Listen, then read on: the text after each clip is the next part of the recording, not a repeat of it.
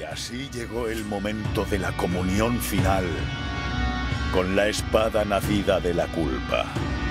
Un último sacrificio para terminar su penitencia y con la impiadosa voluntad del milagro doloroso.